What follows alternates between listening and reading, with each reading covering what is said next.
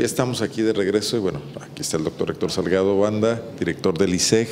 Estuvimos y lo acompaña Aldo Gainza, quien es el subdirector de, perdón, de planeación del ISEG también. Aldo, gracias. Gracias a ti. Estuvimos en el seminario de pensiones el jueves pasado aquí en el, en el Poliforum en León y realmente... Eh, pues yo quedé convencido de que fue un evento muy exitoso, Héctor, eh, por el nivel de la participación de las ponencias y por la audiencia. Así es. Sí, muchas gracias por, la invitación. ¿Por qué esa idea de hacer un seminario de pensiones? Platícame.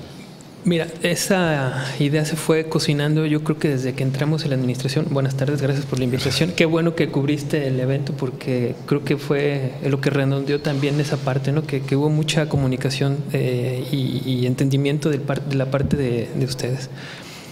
Este, eh, la idea surge a inicios de la administración, queríamos poner el tema de las pensiones en la mesa no solo a nivel estatal, sino a nivel nacional y ahora hasta internacional. Si te acuerdas, también estuviste académico, con lo académico, exactamente. Si te acuerdas, también nos, eh, nos, apoyaste en, la cobertura de un primer seminario que fue más nacional. Más corto. Exacto, fue en el 2013. Septiembre, de 2013. En el 2013.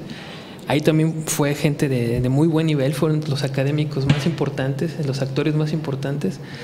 Y, desde ahí dijimos, bueno, ya pusimos más o menos el tema sobre la mesa, pero queremos hacerlo muchísimo más inclusivo a nivel estatal, porque el tema, te, tú te lo pudiste corroborar de primera mano, es un tema que está muy candente, es un tema muy importante. Pues solo nos enteramos de las pensiones cuando hay una crisis en una institución, cuando hay que rescatar al IMSS, al ISTE, etcétera y, no sabemos qué pasa en el extenso mundo de las empresas privadas y los pensionados del, Seguro Social, que no son sus empleados, ¿no? Así es. Pero bueno, yo sí me quedé con una idea que hay ahí una bomba de tiempo económica si no sabemos atenderla. Sí, es una bomba de tiempo y, la bomba a lo mejor ya estalló en algunas partes, ¿no? Este, y, a raíz de, esa, de, esa, de ese seminario empezamos a buscar la manera de cómo tener ese apoyo de manera internacional y es donde aparece finalmente SOCIU, que es de la Unión Europea, eh, que nos brindó todo el apoyo, toda la capacitación desde el año pasado. Y son una institución que, se, como de aspecto social, no solamente es, pensiones, ¿verdad? Es, protección social, seguridad social. Esa es la Un organismo europeo dependiente, de la, Unión Europea. es correcto. Y, y ahí lo importante, lo que nos motivó muchísimo fue que fuimos el primer instituto o entidad en Latinoamérica en recibir esta, esta beca, ¿no? Porque hubo, digo, no nos dijeron cuántas, pero hubo una infinidad de aplicaciones, pues todo el mundo quiere becas, ¿no? Y nosotros afortunadamente recibimos ese apoyo. Aquí lo importante, y también lo tratamos de resaltar en el seminario, y es justo lo que acabas de decir, que está como desbalagado este privado, insiste, estados. Escuché, ahí aprendí eso. y, es lo que queremos hacer. Es un gran problema. Es un gran problema este, en todo el mundo. Y queremos que eso haya como una fusión, ¿no? una, lo que llamaban ahí una ley marco, ¿no? tener una... Eh, bueno, ¿qué pasó con las AFORES? ¿No, ¿No fuese un intento cuando se estableció el sistema de pensiones nacional de, un primer paso hacia una normalización? En la parte privada sí. Este, las AFORES también hubo una presentación muy buena de, del vocal ejecutivo de pensionista, que es una AFORE, la AFORE más grande. Eh, pero otra vez como que se quedó corto. Eh, el, esfuerzo sin duda fue notable, es en el camino correcto, las cuentas individuales, es a donde habría que, caminar.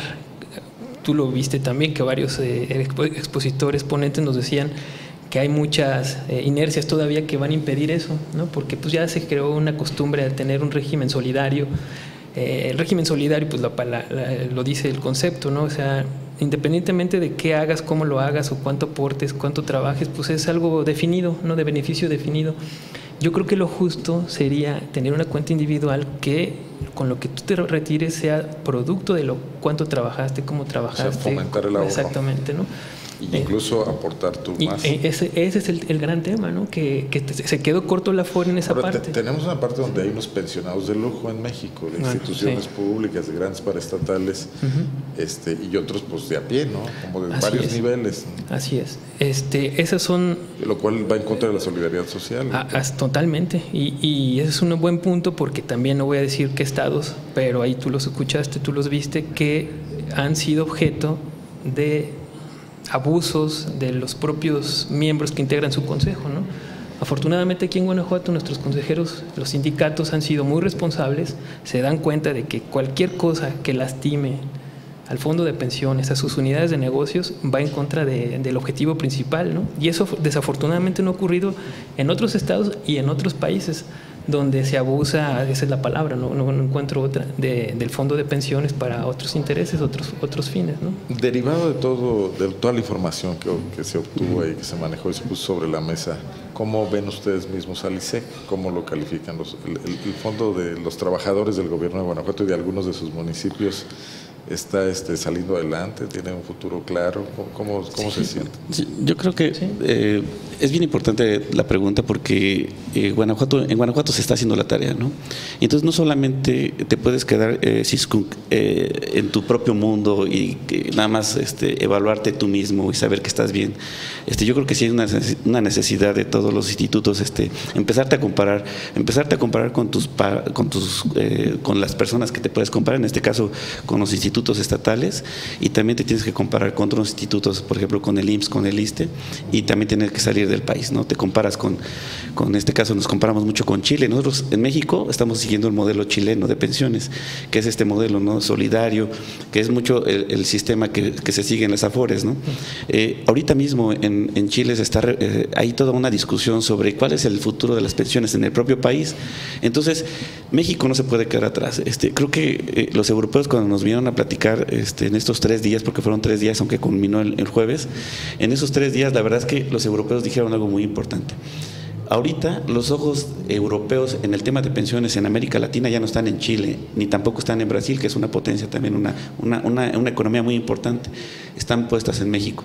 Entonces el hecho de que hayan, vuelto, hayan puesto sus ojos en México y luego hayan voltado a ver a, Guanajuato, tiene mucho que decir. ¿no? En Guanajuato pues, eh, las cosas se están haciendo bien, se han, llevan mucho tiempo ya haciendo las cosas bien y, y es hora de, que la gente pues, se entere ¿no? y que hay que difundirlo.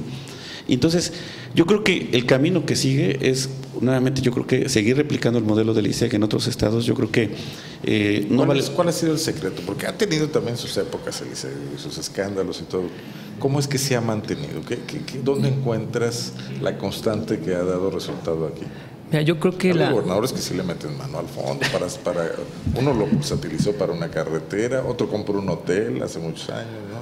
Mira, yo creo que a partir de esta administración también vinimos a platicar contigo la reforma a la ley y, y, si te acuerdas es que ahora el instituto está muy blindado en la parte de transparencia, hay un órgano de control y vigilancia que ahora sí tiene responsabilidades y hay un reglamento y es muy duro, muy estricto. También hay eh, perfil, el perfil del director general, pues ahora ya tiene que ser técnico, ya no puede venir alguien que venga con una carrera política. Eh, pero sobre todo, y esto tal vez no se vea, eh, pero sí se ve en los resultados que tuvimos. De aquí para adelante. De aquí para adelante. Es que hay gente profesional, hay gente muy capacitada. hay algún partido político. Hay gente muy capacitada, muy profesional que hace que cumple el perfil perfectamente. Tenemos gente muy, muy profesional y yo creo que eso es lo que le da mucha fuerza al instituto. ¿no? Pero nada más rapidísimo para complementar la, la, idea de Aldo, eh, las calificadoras internacionales en todos sus últimos reportes, Fitch, Standard Poor's y Moody's, destacan el papel importante de fortaleza, de solidez del instituto. Entonces no lo estamos diciendo el ISEC, ¿no? porque es muy fácil decir el ISEC está muy bien. Eso lo digo, dice el doctor Salgado. No, lo dicen este, instituciones muy serias, ¿no? Eh, y, y, eso es lo que le da muchísima fuerza también a la calificación que le dan a Guanajuato. Ahora, los trabajadores. Sí, yo, creo, yo, creo, que también digo, complementando la, la, idea de Héctor, creo que es muy importante eh, darle reconocimiento a la gente el tema de pensiones que los europeos también nos lo, lo pusieron dentro de los reconocimientos que dieron a, a, ISEC y a Guanajuato fue que el, el, tema de pensiones es un tema técnico y requiere mucha capacitación. No se da en unas escuelas, o sea, no, hay, no hay una carrera que te enseña cómo, cómo está el tema de pensiones. Eso lo aprendes normalmente en, en, en tu etapa laboral. El mejor actuario. Los mejores, bueno, los actuarios aprenden toda la parte matemática, pero también aprenden el tema de pensiones en la, ya en su, en su actuación profesional. Entonces, eso es algo que es muy importante. En el ISEC, el, el, las personas técnicamente están muy bien preparadas. Técnicamente, los europeos nos decían, ¿no? Uh -huh. Nosotros venimos a enseñar y, termin y, terminamos con que nos están enseñando ustedes, ¿no? En muchos aspectos. Y eso se debe a que los temas, eh, los, hay unos temas muy complejos, como por ejemplo la parte financiera, y ese, en la parte financiera el instituto eh, tiene personas muy bien este, capacitadas. En, en, la parte actuarial también nosotros también contamos con personas que tienen muy buena capacitación y eso, por ejemplo, otros estados no, no eh, ese es uno de los temas que yo creo es una debilidad de los estados. ¿no? Los trabajadores de Guanajuato, en este caso los del gobierno del estado, aportan? ¿Sí hay, cultura del ahorro o eso tampoco ahí se produce? Aparte de la cuota normal que tú le quitas y todo. Sí, tenemos este, afortunadamente una muy buena eh, demanda por el ahorro. Se llama ahorro voluntario. Este ahorro voluntario cada vez está creciendo más. Eh, hay una buena cultura.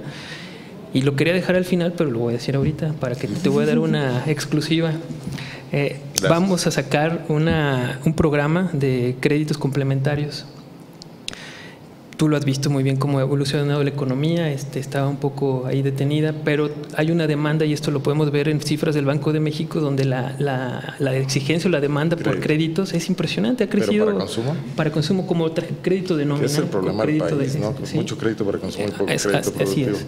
Y precisamente digo, no podemos abarcar grandes áreas, pero sí a nuestros asegurados. Y lo que le vamos a dar a nuestros asegurados es este beneficio, este apoyo adicional, porque no está siendo suficiente, a pesar de que hemos ya reformamos la ley, ya reformamos los créditos. créditos de corto plazo. De corto plazo, y ahora vamos a lanzar otro no es programa. Como un negocio para mover más el dinero? ¿Es también un servicio? Eh, eso es un servicio, claro, porque, a ver, lo que está pasando es que existe una demanda, una, una, un apetito por crédito que nuestros asegurados satisfacen de manera, yo creo que muy completa con el ISEC, pero no suficiente.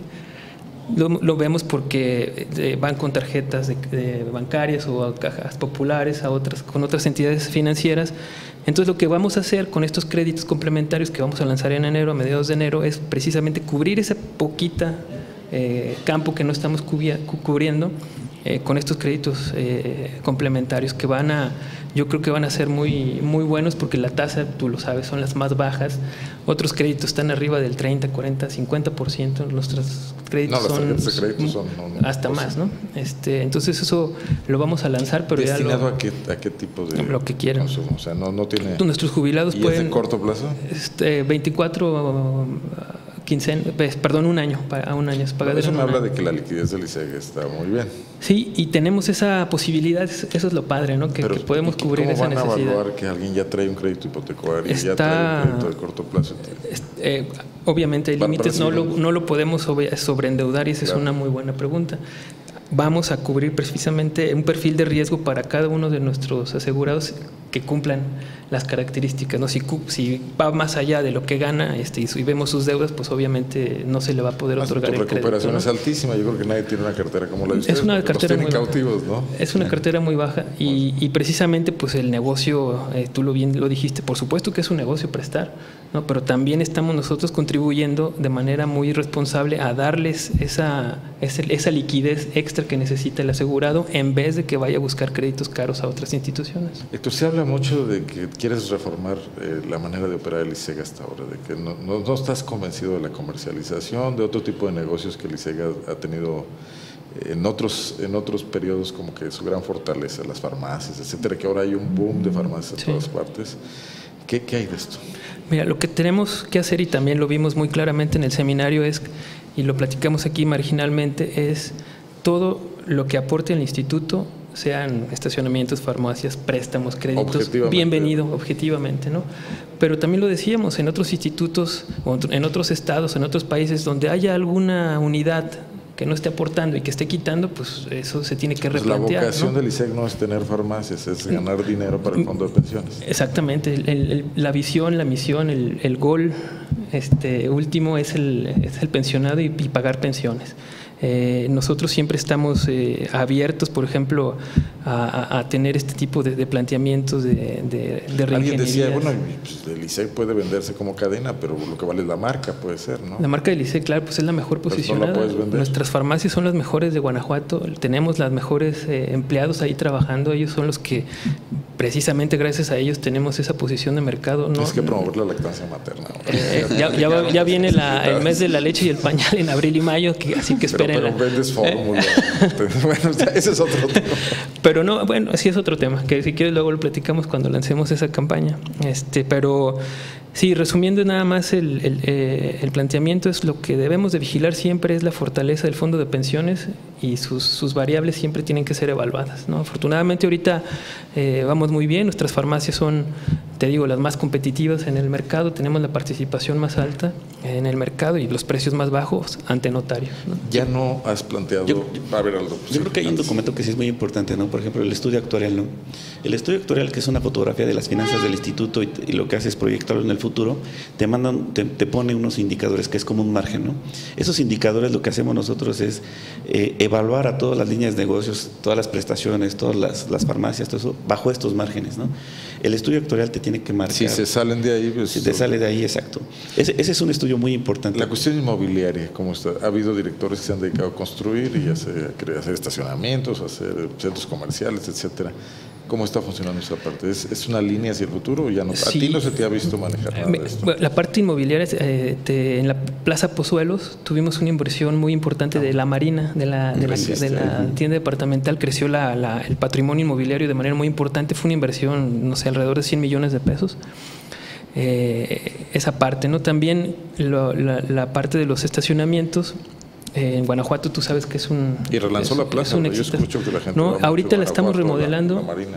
La, vamos a... Va a haber como una especie de reinauguración porque se está pintando, los baños están cambiando, va a haber puertas eléctricas, va a haber un área de fast food remodelada, va a quedar muy, muy bien, ¿no? Porque tampoco no nos podemos quedar atrás. Aquí las, en las plazas en León pues están creciendo muchísimo. El Irapuato, está muy cerquita de Guanajuato. Y entonces, eh, afortunadamente hemos eh, tenido buena aceptación con la Marina. No, yo creo que ahorita va, va muy bien la plaza, eh, Plaza Pozuelos va muy bien. La, Marina vino a repuntar la, la, plaza y a detonar otros, otras áreas ahí con comerciales, ¿no? Entonces esa parte está ahorita muy bien. Muy bien. Bueno, pues hasta nos diste un exclusivo. y la conclusión del seminario de pensiones, la presencia de socios, de todas estas gentes del continente europeo, ¿te hace que lo plantees ya como un evento recurrente? ¿Vas a, ¿Vas a tener seminarios así en el futuro? Yo creo que ir avanzando si, todo sale bien este con Socio y con este además les cobraste a los asistentes o no no fue gratis, abrió todo el público trajiste hasta un secretario de estado que es precandidato a la presidencia eh, también José Antonio ángulo futurista. José Antonio Mit sí eso, eso también demuestra la importancia del tema de las pensiones. Eh, nos hizo el favor de, de venir a inaugurarlo y la verdad que puso también el dedo sobre la llaga no la parte de qué viene es fundamental porque hubo tan buena aceptación, tan buen entendimiento entre los integrantes, entre el IMSS, entre el ISTE, pensionista y todos los actores nacionales, los estados, que queremos plantear esta idea de una ley marco, de generar acuerdos de manera conjunta y coordinada y nosotros, si así se, se pudiera, nosotros queremos ser precisamente esa punta de lanza para que haya finalmente esa, esa, esa gran discusión en el tema de, pensiones en México. El gobernador Márquez también valoró bien la idea. Muy bien, sí, no, él nos ha apoyado siempre y él entiende el tema perfectamente bien. Y, Hasta podría ser uno de los temas de su precampaña. Podría si, Es que, si es que, si es que hay precampaña. Bueno, pues les agradezco mucho tanto la invitación al seminario como que hayan venido. No se pudo ese día entrevistarte, pero Andábamos como locos. No, estuvo muy bien. Te, te, felicito. Le diste el golpe además ya. Muchas gracias. No, no sé, a mí me, gustó mucho estar ahí porque aprendí muchas cosas. Qué bueno, bueno. muchas gracias. Aldo, muchas gracias. No, al contrario, muchas gracias a ti. Aquí nos vemos pronto. Seguro. Para hablar de la, del mes de la leche. Órale, va. Gracias. Seremos críticos de eso. El doctor Héctor Salgado Banda, quien es director del ISEG, Instituto de Seguridad Social del Estado de Guanajuato, y también el maestro Aldo Gainza, que es el subdirector de planeación. una pausa para continuar.